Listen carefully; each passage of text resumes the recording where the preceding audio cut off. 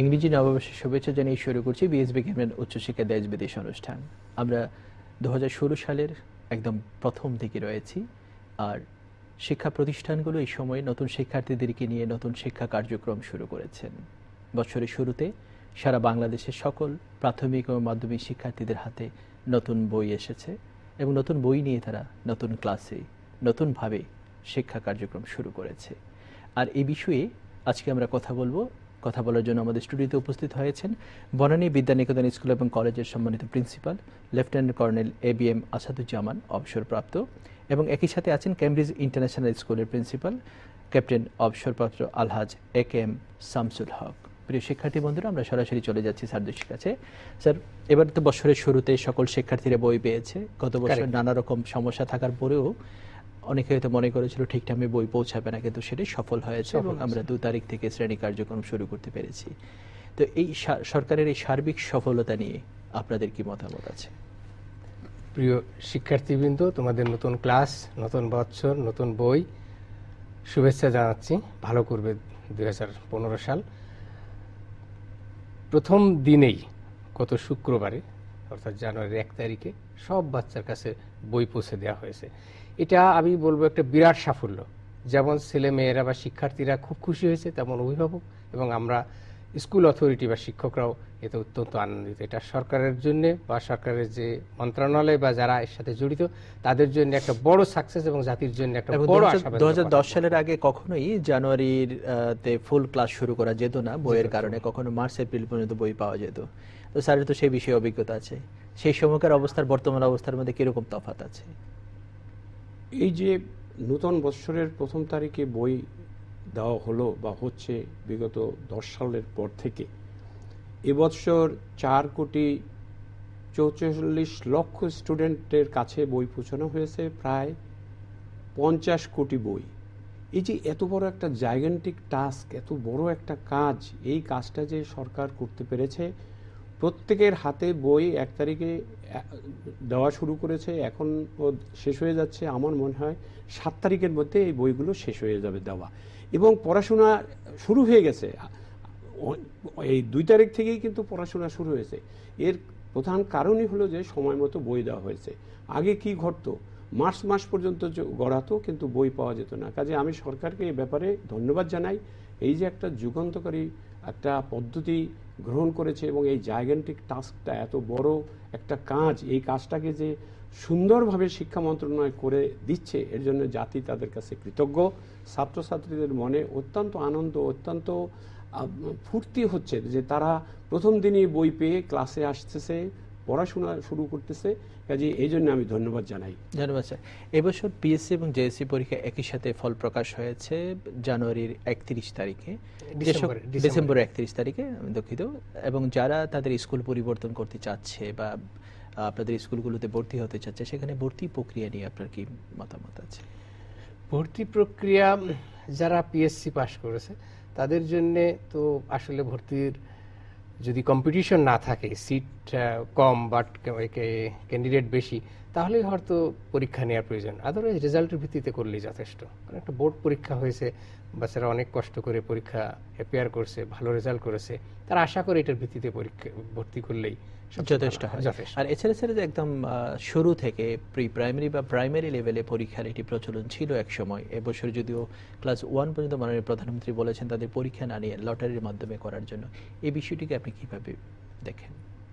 এই সিস্টেমটাকেও আমি খুব ভালো বলি। ভালো বলি এই জন্যে যে শুধু ক্লাস ওয়ানে লটারির কথা বলেছে এইটাকে একটু সংশোধনের প্রয়োজন আছে যে এটা হওয়া উচিত একেবারে বিগিনিং থেকে অর্থাৎ প্লে নার্সারি কেজি ওয়ান এ পর্যন্ত এদেরকে লটারি সিস্টেম করলে হবে কি যে এরা একেবারে অল্প বয়সী ছেলে মেয়ে তাদের পক্ষে পরীক্ষা কি দেওয়া ভর্তির জন্য কি করা এটা তাদের চেয়ে তাদের পিতা মাতা গার্জিয়ান অত্যন্ত ব্যস্ত হয়ে পড়ে।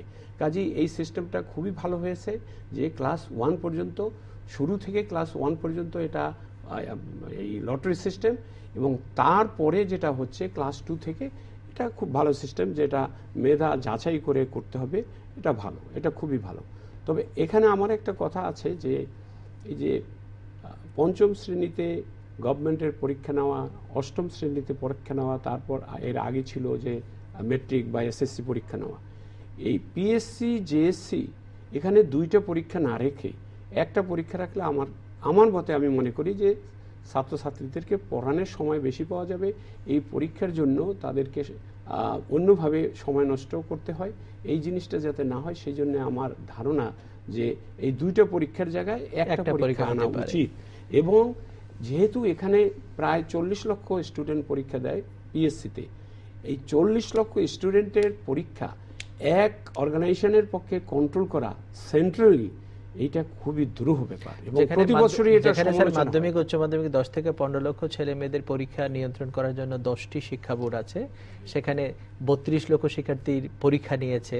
শুধুমাত্র প্রাথমিক শিক্ষা অধিদপ্তর তারা যথেষ্ট বড় একটি কাজ করেছে। আমার মনে হয় যে তারা হয়তো আরও সামনের দিকে অনেক বেশি অর্গানাইজ ওয়েতে কাজটা করতে পারবেন স্যার আমরা একটি বিষয় জানব যে যে সকল বিষয়গুলোতে পরিবর্তন হয়েছে বিষয়বস্তুর পরিবর্তন এসেছে সেগুলোতে এই নতুন কারিকুলামে এসে মানবন্টনগুলো এখনও স্পষ্ট করে দেওয়া নাই বা শিক্ষকরা যখন এক তারিখের পর থেকে ক্লাসে গিয়েছে তারা কিন্তু পুরোপুরি প্রস্তুতি নিয়ে যেতে পারে নাই। তো আপনি একজন প্রধান শিক্ষক আপনার শিক্ষা প্রতিষ্ঠানে যেরকম শিক্ষকরা আছে সারা বাংলাদেশে এরকম সব জায়গায় শিক্ষক আছে। তো আমাদের কীভাবে প্রস্তুতি নেওয়া দরকার? এবং এই মুহূর্তে শিক্ষা প্রতিষ্ঠান পরিচালনার সাথে অধ্যক্ষ এবং প্রিন্সিপাল বা যারা কমিটি জড়িত আছে তাদের কি ভূমিকা আছে? শিক্ষকদের কি ভূমিকা? শিক্ষার্থী এবং অভিভাবকদের কি ভূমিকা থাকা উচিত বলে আপনি মনে করেন? এটা আমার মনে হয় যদি অনলাইনের মাধ্যমে বইগুলো আগেই দেওয়া হতো যেগুলো বিশেষ করে পরিবর্তন আনা হয়েছে যে সমস্ত লেসনগুলো তাহলে এটা সুবিধা হতো ব্যাকগ্রাউন্ড স্টাডি করে প্রস্তুতি নিয়ে এটা করা যেত। যেহেতু এটা হয়নি, এখন এটাকে শিক্ষকদেরকে নিয়ে অধ্যক্ষ বা প্রধান শিক্ষক বসে এটা আলোচনার মাধ্যমে এটা করতে পারে। আলোচনার মাধ্যমে সেট করতে পারে নতুন লেসনগুলোকে, কীভাবে মানবন্টনে আনা যাবে, কীভাবে তাদেরকে এমফেসিস দিয়ে আনা যাবে এবং শিক্ষকদেরকে বইটা নিয়ে স্টাডি করতে হবে। ওই শুধু যখন ক্লাস নিবে তখন না এখনই স্টাডি করে জিনিস কোনো ডাউট থাকলে সেগুলো ক্লারিফাই করে নেওয়া উচিত। প্রস্তুতি ইতিমধ্যে তো শিক্ষকদের হাতে বই চলে এসেছে শিক্ষার্থীদের হাতে তো পৌঁছেছেই। তো শিক্ষকরা স্যার আপনাদের বিদ্যালয়গুলোতে কীভাবে তারা প্রস্তুতি নিচ্ছে? মানে ছাত্রদের মুখোমুখি হওয়ার জন্য ক্লাসে সঠিকভাবে পাঠদান করার জন্য কীভাবে প্রস্তুতি নিয়েছে বা করিয়েছেন আপনারা? আমরা বই পাওয়ার সাথে সাথে রেসপেক্টিভ শিক্ষক যে যে যে বিষয়ে পড়াবে তাকে আমরা বই দিয়ে দিয়েছি। এবং তাদেরকে আমরা বলে দিয়েছি যে এই বইগুলো তাড়াতাড়ি রিডিং দিয়ে এটাকে স্টাডি করে এটা তাদের একটা, নিজেদের একটা প্রস্তুতিমূলক পেপার বানাতে হবে। এবং ফার্স্ট টার্মিনাল সেকেন্ড টার্মিনাল এবং অ্যানুয়াল এই তিনটার জন্য আমরা আলাদাভাবে মডেল তৈরি করতেছি এবং সেইটা কাজ আমরা এই জানুয়ারির পনেরো তারিখের মধ্যে আমরা শেষ করব। শেষ করার পরে এদেরকে ওইভাবে আমরা আগাতে থাকব। পড়াশোনা ওইভাবে হবে এবং যেমন ক্লাস টেস্ট তারপরে টিউটোরিয়াল পরীক্ষা, এরপরে সেমিস্টার পরীক্ষা after every four months semester পরীক্ষা এটা তিনটা সেমিস্টার পরীক্ষা last one third semester cum annual পরীক্ষা। আমি স্যার এই প্রসঙ্গে একটা বিষয় জানতে চাই সেটা হচ্ছে যে সরকার বলেছিল যে দুটি পরীক্ষা নেওয়া যাবে অর্থাৎ অ্যানুয়াল পরীক্ষা এবং মাঝখানে একটা অর্ধবার্ষিকী পরীক্ষা। কিন্তু এর আগে আমাদের প্রতিষ্ঠানগুলোতে ছিল তিনটি পরীক্ষা ফার্স্ট টার্ম সেকেন্ড টার্ম এবং অ্যানুয়ালটাকে থার্ড টার্ম বা ফাইনাল পরীক্ষা বলা হতো। তো সেই ক্ষেত্রে আপনার কি মতামত যে দুটি পরীক্ষা নেওয়াই উচিত না তিনটা নিলে ভালো হয় প্রস্তুতির ক্ষেত্রে? এখানে আমি বলব যে গভর্নমেন্ট স্কুল বা গভর্নমেন্ট ইনস্টিটিউশন সেখানে হয়তো আগে তিনটা হতো, এখন দুটা করছে। কিন্তু প্রাইভেট ইনস্টিটিউশনগুলো যেখানে আমি বলব যে সেভেন্টি পার্সেন্ট স্টুডেন্ট আসতেছে প্রাইভেট থেকে আর থার্টি থার্টি ফাইভ স্টুডেন্টস আসতেছে গভর্নমেন্ট ইনস্টিটিউশন থেকে। তো সেখানে দুটা পরীক্ষা তারা করতে চায়, কিন্তু প্রাইভেট ইনস্টিটিউশনগুলো শিক্ষা প্রতিষ্ঠানগুলো কিন্তু দুটো করছে না। সেখানে কিন্তু পরীক্ষা বেশি নেওয়া হচ্ছে এবং এটা নেওয়া উচিত। আপনি যে প্রশ্ন করছেন এটা খুবই ভালো প্রশ্ন যে অনেক আগে থেকেও তিনটা পরীক্ষা হতো। এটাকে দুটা করছে। কারণ কি দেখাচ্ছে? গভর্নমেন্ট বলতেছে শিক্ষা মন্ত্রণালয় বলতেছে যে এতে সময় নষ্ট হয়। না। ছাত্রদেরকে পরীক্ষা তো তাদের পড়া আদায় করা যাচ্ছে না শেখানো যাচ্ছে না। এই যে পরীক্ষা তিনটে পরীক্ষা তো হওয়াই উচিত। এর এর চেয়ে কম কোনোভাবেই করা যাবে না। আর বনানী বিদ্যানিকেতন একদিক থেকে সরকারি এদিক দিয়ে বেসরকারি বলা যায় কারণ ওখানে কিছু শিক্ষক আছেন এমপি বিভক্ত কিছু আছে নন এমপি বিভক্ত এরকম একটি অবস্থানে আছেন এবং এক্ষেত্রে আপনারা কীভাবে পরীক্ষাগুলোকে নিচ্ছেন? তিনটা পরীক্ষা হবে না দুটো পরীক্ষা হবে? আমরা ঠিক দুটো পরীক্ষা সরকার যেভাবে বলছে সেভাবে পালন করা হচ্ছে। মাঝে ছোট ছোট পরীক্ষা নেওয়া হয়। ছোট ছোট পরীক্ষা নেওয়া হয় অনেক সময় ক্লাসে ছোট ছোট পরীক্ষা সরকারের সাথে কোনো কন্ট্রাডিকশন না, হচ্ছে কিনা? contradiction স্যার আমরা একটা ফোন নিয়ে নিচ্ছি। হ্যালো জি। জি বলুন। আসসালামু আলাইকুম। ওয়ালাইকুম সালাম। আমি গুলশান থেকে বলছি মাননীয় আজকের প্যানেলের সম্মানিত সঞ্চালক। বই প্রসঙ্গে আসছে বাংলাদেশের ছেলে মেয়েদের। এইটার ফাউন্ডার বিনামূল্যে বই বিতরণ। আজকে সঞ্চালক কেন্দ্রিয়ান স্কুল অ্যান্ড কলেজের ফাউন্ডার জনাব আবুল এম কে আপনার কোনো প্রশ্ন আছে কিনা সরাসরি বলুন? প্রশ্ন হচ্ছে যে নতুন বছরের শুরুতে এই বই দেওয়ার যে উদ্ভাবক, যিনি স্রষ্টা, আজকের সঞ্চালক, ওনাকে ধন্যবাদ জানাই যে শুরুতে ধন্যবাদ আপনাকেও। আমরা হয়তো দুহাজার সাত সাল থেকে আমরা শুরু করেছিলাম এবং আমাদের শিক্ষা প্রতিষ্ঠান দু হাজার পাঁচ থেকে আমরা বিনামূল্যে বই দেওয়া শুরু করেছিলাম যেটি সরকার দু হাজার দশ সাল থেকে শুরু করেছেন। সেই জন্য আমরা সত্যিকার অর্থেই সরকারের প্রশংসা করছি এবং আমরা আশা করি সরকার এই পদ্ধতিতে এগিয়ে গেলে হয়তো সারা দেশের শিক্ষা ব্যবস্থায় আরও অনেক পরিবর্তন আসবে, শিক্ষার্থীরা আরও বেশি উপকৃত হবে। স্যার, আমরা যে প্রসঙ্গে বলছিলাম যে আমরা ছোট ছোট পরীক্ষাগুলো নিচ্ছি কারণ আমরা মনে করছি যে ছাত্রদের পরীক্ষা দরকার আছে এছাড়া আদায় করা সম্ভব না পড়া। তা না হলে পড়া আদায় করা? কারণ আগে আরেকটা বিষয় ছিল যে আমরা ছেলে মেয়েদেরকে পড়াতে পারতাম পড়তে না পারলে তাদেরকে পড়া আদায় করার জন্য বিভিন্ন কৌশল অবলম্বন করতাম। কিন্তু সরকার কিন্তু এখন একটি আইন করে সেই সকল রাস্তাও বন্ধ করে দিয়েছে। শারীরিক মানসিক নির্যাতনের কথা বলে সব রাস্তা বন্ধ। এখন তাদেরকে পড়া আদায় করা যাচ্ছে না। তো এক্ষেত্রে নতুন বছরে এসে কীভাবে পরিকল্পনা করছেন যে ছেলে মেয়েদেরকে ভালো শিক্ষা দেওয়ার জন্য, কারণ আমরা শিক্ষার্থী সংখ্যা বেড়েছে পরীক্ষার রেজাল্ট ভালো হচ্ছে, কিন্তু আমরা প্রায়শই শুনি এবং এখানে সব জায়গায় এখন আলোচনা হচ্ছে, চার টেবিল থেকে শুরু করে আপ টু পার্লামেন্ট পর্যন্ত যে কোয়ালিটি খারাপ হচ্ছে, এই জায়গাটায় আমরা কীভাবে কাজ করতে পারি, কোয়ালিটি বাড়াতে পারি? এখানে একটা কথা হলো যে শিক্ষার্থীর সংখ্যা অনেক অনেক গুণ বেড়ে গেছে, কিন্তু সেই তুলনায় শিক্ষক বাড়েনি। এখনও দেখা যায় যে একটা ক্লাসে ষাট জন, সত্তর জন স্টুডেন্ট থাকে। এই ষাট বা সত্তর স্টুডেন্ট ছাত্রছাত্রীকে পঁয়তাল্লিশ মিনিটের একটা পিরিয়ডে একজন টিচার কি দিতে পারে বা কি নিতে পারে? এই জন্য এই ছাত্রছাত্রীদেরকে বিজি রাখতে হবে পরীক্ষা ঘন ঘন নিয়ে। তাদের উপরে চাপ সৃষ্টি করতে হবে। এখন যদি আমি তাদেরকে চাপ সৃষ্টি না করি তাদের উপরে বা তাদেরকে সে বাধ্য না করি, তাহলে তো তারা আগাবে না। এখন অন্যরকম একটা পরিবেশ এসে গেছে। যেহেতু আগে ছাত্রছাত্রীদেরকে আরেকটি ফোন নিয়ে নিচ্ছি। Hello hello hello. ওয়ালাইকুম সালাম। আমি কেরানীগঞ্জ থেকে ফারুক আহমেদ বলছি। জি বলুন। যে আমার আহ, একটি প্রশ্ন হচ্ছে যে বর্তমানে আহ, শিক্ষা ব্যবস্থা দেখা যায় যে হাই স্কুলগুলোতে দুটো পরীক্ষা নেওয়া হয়। তো আমার আহ, মনে হয় যে আগে যে আপনার একটা ব্যবস্থা ছিল যে তিনটা পরীক্ষা নেওয়া, এটাই কি ভালো হয় না ছাত্রছাত্রীদের জন্য? ধন্যবাদ আপনাকে। আমরা এই প্রসঙ্গে কথা বলছিলাম এবং স্যারেরা কিন্তু বলেছেন যে সরকার যদিও দুটি পরীক্ষা করেছে, কিন্তু ভিতরে ভিতরে সব শিক্ষা প্রতিষ্ঠানে, বিশেষ করে এমপি ভুক্ত বা প্রাইভেট প্রতিষ্ঠানগুলো বিশেষ করে তিনটা বা চারটা পরীক্ষা নিচ্ছে এবং এভাবেই ভালো ফলাফল তারা করছে এবং সরকারি প্রতিষ্ঠানগুলোর সাথে তারা প্রতিযোগিতায় টিকে আছে। এবং আমার মনে হয় স্যার আপনারা একমত যে একাধিক পরীক্ষার মাধ্যমেই তাদেরকে নিয়ে যেতে হচ্ছে এক্ষেত্রে আমি সামান্য একটু কথা বলব। সেটা হচ্ছে যে প্যারেন্টসরাও বলে যে এমনিতে বাচ্চা বাসায় পড়াশোনা করে না ছেলে বা মেয়ে বাট যখন পরীক্ষার কথা শুনে বা পরীক্ষা থাকে তখন তারা পড়াশোনা করে। তখন স্কুলে অ্যাটেন্ডেন্সও ভালো হয় পরীক্ষার কারণে কারণ পরীক্ষার রেজাল্ট তো রেকর্ডেড হবে। তার রিপোর্ট কার্ডে লেখা থাকবে হিসাবে আসবে।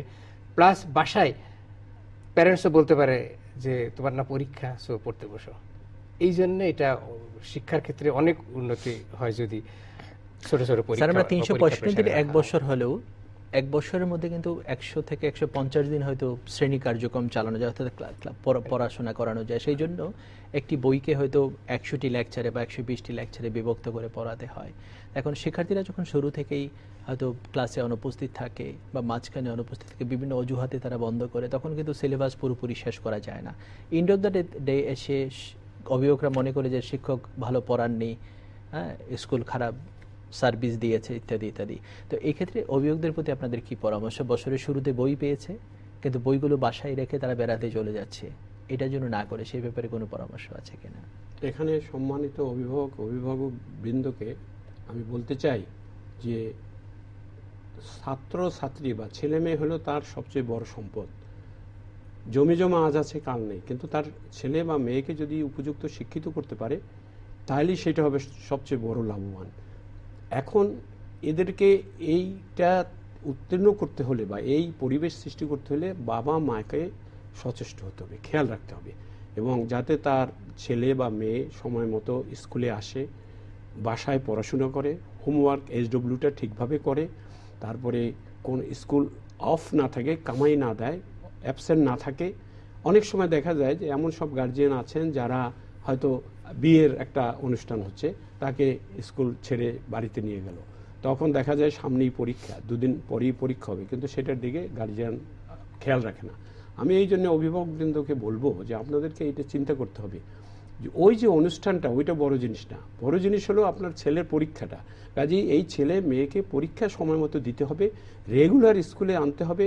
হোমওয়ার্ক কি দেওয়া হয় সেটা আপনাকে দেখতে হবে।